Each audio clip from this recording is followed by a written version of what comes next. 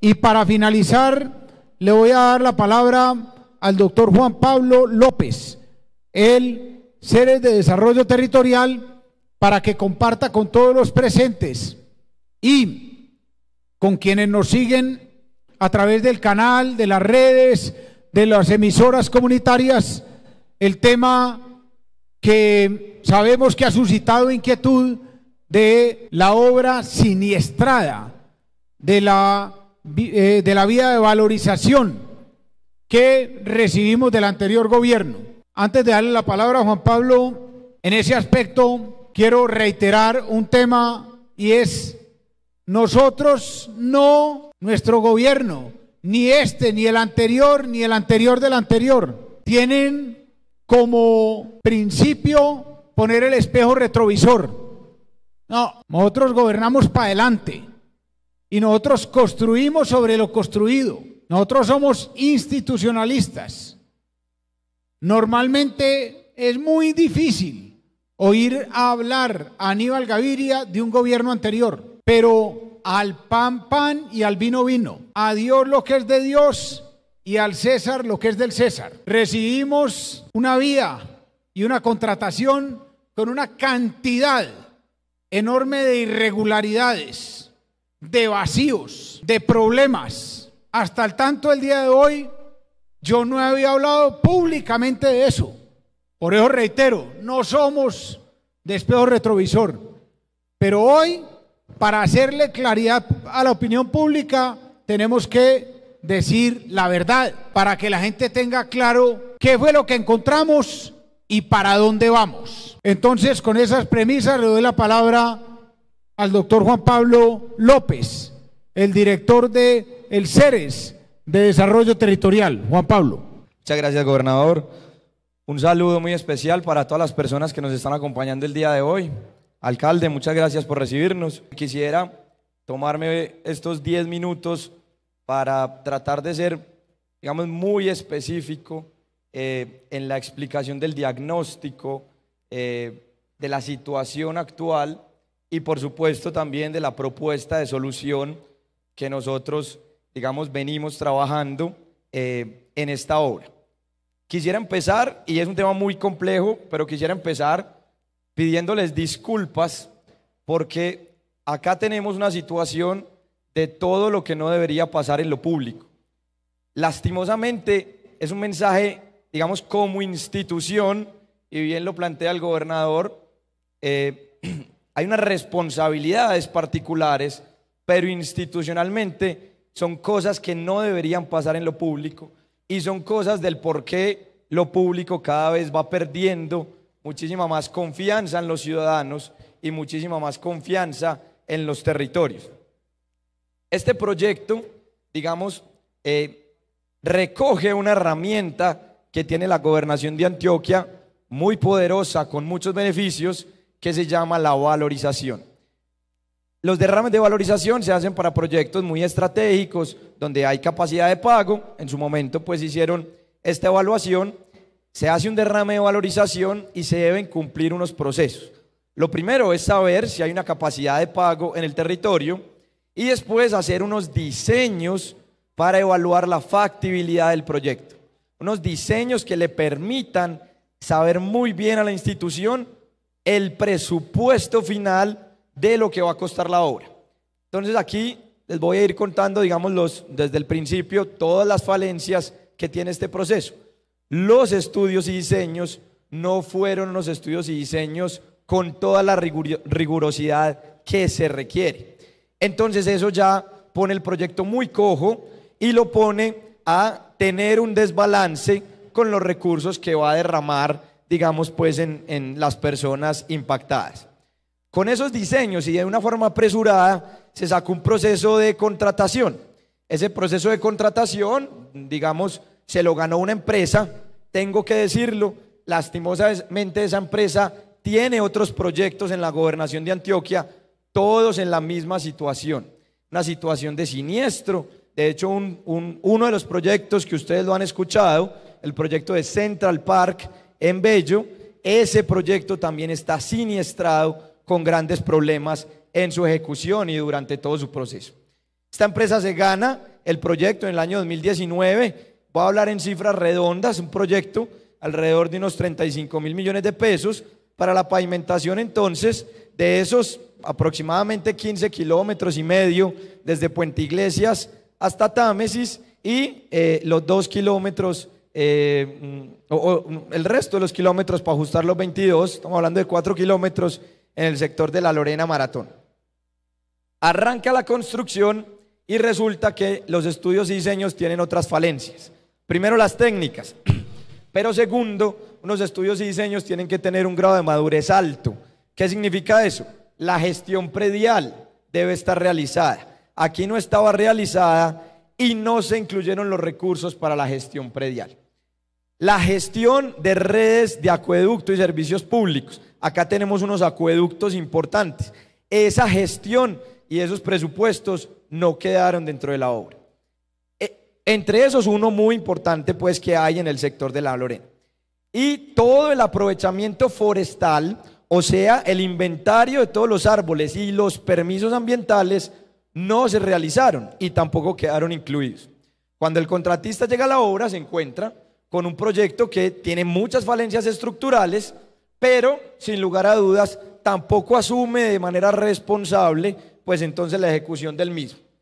Llegamos nosotros a nuestro gobierno y debo reconocer, había un proceso muy bien estructurado, instaurado de veeduría ciudadana, que a los pocos meses, por supuesto, recuerden que tuvimos eh, eh, el, el, tema del COVID, entonces todo el mundo pues estaba, todos estábamos pues muy, muy dispersos y muy alejados del territorio. La veeduría ciudadana fue quien nos advirtió directamente a los secretarios y al gobernador en su momento de que estaban ocurriendo irregularidades en la obra. Fue a través de la veeduría que nosotros pudimos saber eso. En los procesos de contratación además de la construcción, se contrata una interventoría. Esa interventoría tuvo un proceso, o digamos, eh, tuvo unas actividades que no constituían contractualmente con, con lo que ella debía hacer, que era vigilar la obra e informarnos de todo lo que estuviera pasando. Fue la veeduría, o sea, ustedes como ciudadanos los que nos advirtieron. A partir de esa advertencia, nosotros empezamos un proceso de auditoría interna trajimos los representantes legales de la interventoría desde Bogotá y los obligamos a hacer una, auditoría interna de todos los procesos. Ustedes nos advirtieron a nosotros que allí se estaban haciendo pagos irregulares, que allí se estaban haciendo pagos de obras que no se estaban ejecutando, pero que además estaban también utilizando alguna calidad en los materiales que no era la adecuada. Pero además que la obra no avanzaba y que ustedes estaban cada vez más perjudicados. A partir de ese proceso y de la auditoría interna con la interventoría, encontramos efectivamente que la interventoría había aprobado pagos por alrededor de 8.300 millones de pesos que no tienen justificación. No tiene la interventoría cómo justificar por qué aprobó esos pagos. Cuando nosotros tenemos ese panorama, tomamos entonces la decisión de empezar unos procesos sancionatorios contra el contratista y contra la interventoría. Y esto quiero que me lo entiendan muy bien. Cuando desde lo público eh, empezamos a hacer, o sea, tomamos la decisión de hacer procesos sancionatorios, inmediatamente eso tiene unas repercusiones, digamos, tremendas en términos de tiempos, porque los contratistas, así es el esquema de nuestra ley, tienen un esquema muy digamos, de protección. Tienen muchos estamentos para dilatar, contestar, defenderse y eso lo que incurre inmediatamente es que los tiempos empiezan a ser muy largos. Eh, se nos sale un poco del control porque ya entra, digamos, la, el área judicial y hay unos tiempos que tenemos que, eh, digamos, respetar. Después de muchas audiencias y con una estrategia clarísima de la interventoría por dilatar el proceso, porque eh, puso tutelas contra el departamento de Antioquia, porque los representantes legales eh, allegaban eh, excusas médicas para no presentarse a las audiencias. Terminamos el proceso sancionatorio en una primera parte multando al contratista, primero por incumplimiento parcial y total del proyecto, por cerca de unos 1.300 millones de pesos. En este momento él está en otra instancia alegando eh, ese valor para seguir dilatando el proceso.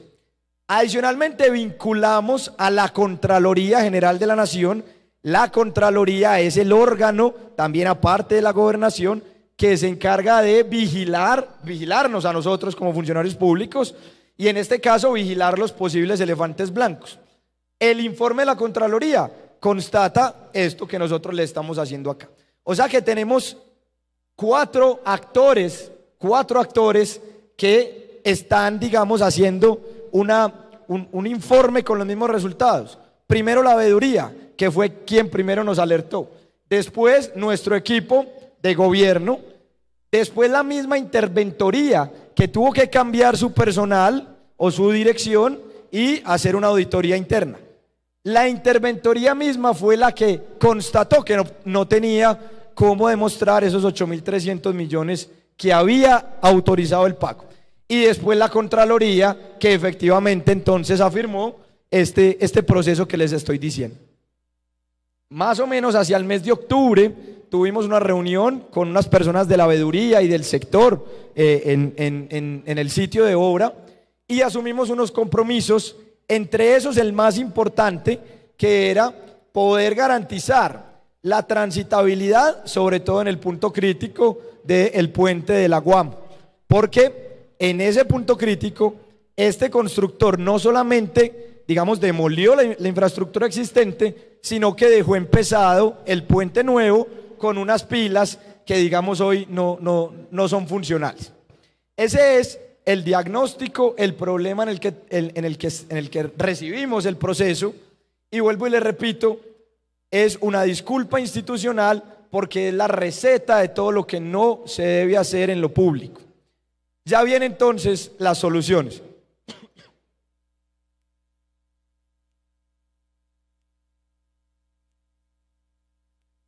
Como el proceso sancionatorio aún no se encuentra cerrado del todo, digamos la liquidación, hoy nosotros no podemos liberar la totalidad de los recursos que tenemos en ese contrato.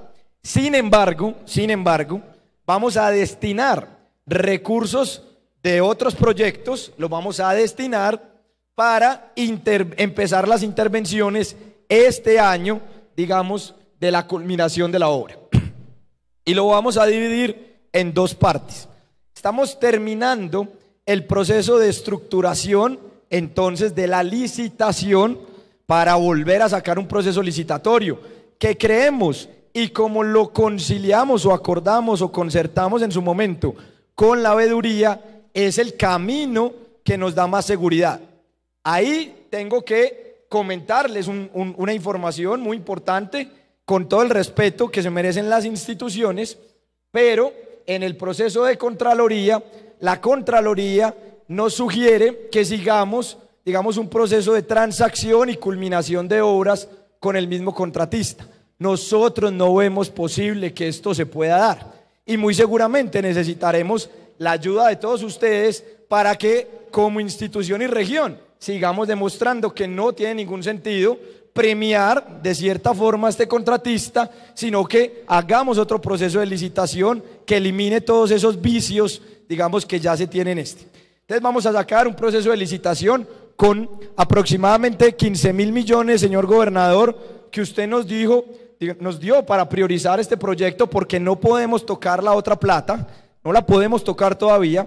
Con esos 15 mil millones de pesos eh, vamos a intervenir los primeros 10 kilómetros desde Puente Iglesias hasta más o menos donde nos dan los 10 kilómetros, que son las obras inconclusas que tiene, digamos que dejó ese contratista, solucionando muy importantemente el puente de la Guam. Eso es digamos, lo más trascendental que tenemos que solucionar. Ese es el primer contrato que nosotros eh, vamos a, sacar, corrigiendo los diseños, corrigiendo el presupuesto ya que lo tenemos que, digamos, pues como traer en este momento. Habíamos asumido un compromiso en ese mes de octubre y es que íbamos a hacer ese puente con unos contratistas que teníamos vigentes, gobernador. Trajimos dos contratistas, que teníamos en otras obras de los mantenimientos de suroeste. Ninguno de los dos contratistas quiso asumir terminar el puente. Entonces eso, digamos eso, hizo parte de nuestro análisis y del proceso de licitación que tenemos ahora, ¿cierto? Porque la interventoría nos debe garantizar que el puente cumple con todas las condiciones. Y en el primer semestre vamos a terminar entonces el proceso de estructuración, actualización de los diseños para aproximadamente los 5 kilómetros faltantes hacia la conexión con la vía Támesis y los diseños de la conexión hacia de la Lorena hacia Maratón eh, para sacar otro proceso de licitación. Esperamos en el segundo, el segundo semestre, más o menos hacia finales del tercer trimestre. Entonces voy a redondear. La primera intervención con aproximadamente los 15 mil millones que hoy vamos a destinar de otros proyectos, la vamos a estar sacando hacia finales de febrero, mediados de marzo. Eso es un proceso de unos tres meses y medio, lo que nos llevaría a tener obras hacia mitad de año, con la garantía de que vamos a seguir teniendo las capacidades necesarias para hacer las obras de mitigación en la quebrada La Guamo. Allí hemos hecho ya más o menos ocho intervenciones de mitigación. Sabemos que va a seguir con unos temas complejos y siguen las lluvias, pero no nos hemos demorado más de 8 o 12 horas en restablecer ahí la transitabilidad. Entonces, en ese primer proceso vamos a arrancar de Puente Iglesias hacia arriba 10 kilómetros para culminar las obras eh, eh, existentes. ¿Por qué no le podemos hacer mantenimiento hoy a esa vía? Que es uno de los requerimientos que ustedes nos dicen. Porque en el informe de la Contraloría, la Contraloría, digamos, el contratista alega que la gobernación de Antioquia tiene un propósito de destruir las intervenciones que dejó para perjudicarlo. Esto se sale de todos los cabellos, pero como funcionarios públicos también debemos, digamos, protegernos, quedar involucrados en una cosa que queda mal hecha por otras responsabilidades particulares. Y el segundo proceso es un proceso que tenemos que estructurar durante los primeros seis meses y será la culminación de los 5 kilómetros y la culminación de la vía ah, de la Lorena Maratón. Fundamental eso, el compromiso de la gobernación de Antioquia, que además no solamente es el compromiso del gobernador y de la gobernación, sino que es muy importante que ustedes, eh, digamos, lo tengan en cuenta. Como es un proyecto bajo la modalidad de valorización, la gobernación está en la obligación de terminarlo. No importa si cuesta más. Aquí nos va a costar mucho más de lo que se derramó. Mucho más de lo que se derramó. Debemos terminarlo. Debemos terminar lo que se contrató y lo que se dejó en el proyecto de valorización. Entonces, ese es el detalle. Reiterando las disculpas, esperamos que haya quedado muy claro. Sin embargo, el secretario de Infraestructura, Santiago Sierra, y yo Vamos a estar en constante comunicación con la veeduría. Eh, con la veeduría habíamos hablado de la posible creación de una mesa técnica que pueda seguir todo el tema de los estudios y diseños y la ejecución de la obra. Y en ese sentido vamos a tener comunicación constante y visitas permanentes al municipio. Muchas gracias a todos.